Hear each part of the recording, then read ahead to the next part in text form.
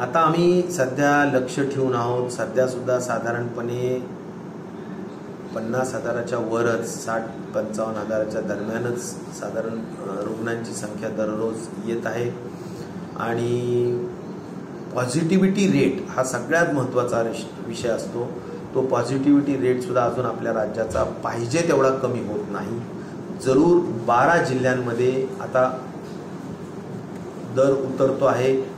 छत्तीस पैकी बारा जिल्ह्यांमध्ये उतरतो आहे याचा अर्थ वन थर्ड आपलं राज्य हे उतरत्या दिशेने आहे.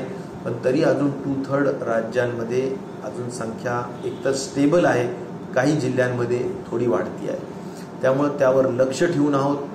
आणि ज्या काही गोष्टी अपेक्षित असतात ते थ्री टी प्रिन्सिपल असो म्हणजे ट्रॅकिंग ट्रेसिंग टेस्टिंग असो ट्रीटमेंटचा भाग असो हा सगळा भाग अत्यंत तंतोतंत करण्याचं काम आपण करतो आहोतच.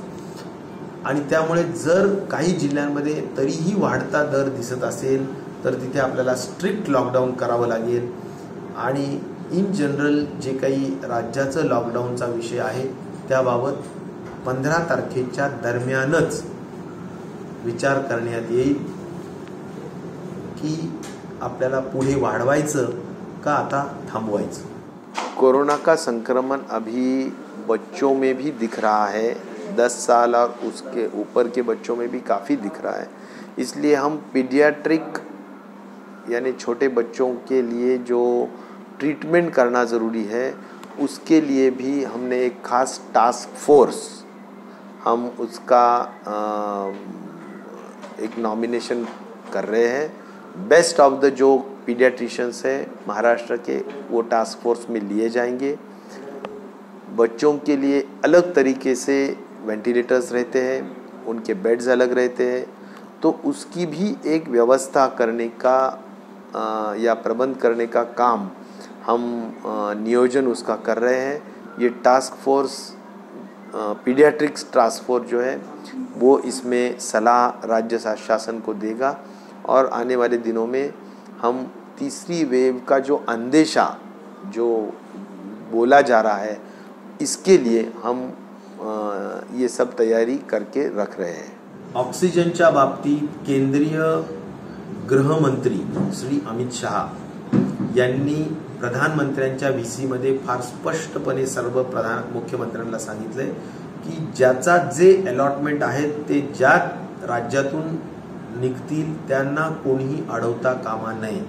अशा स्पष्ट सूचना त्यांनी मुख्यमंत्र्यांनाही दिल्यात आणि त्या गृह केंद्रीय गृहमंत्र्यांनी मला वाटतं सर्व राज्यांच्या मुख्य सचिवांनाही दिलेल्या आहेत. त्यामुळे अशा पद्धतीनं एक आपलं भारत देश आपला एक देश आहे. सगळेच लोकांचं सगळ्यांचंच महत्त्व आहे. आणि त्यामुळं कोणीही अशा स्वरूपाने आपापल्या राज्यापुरतं नियम डावलून काही गोष्टी करणं अत्यंत चुकीचं आहे.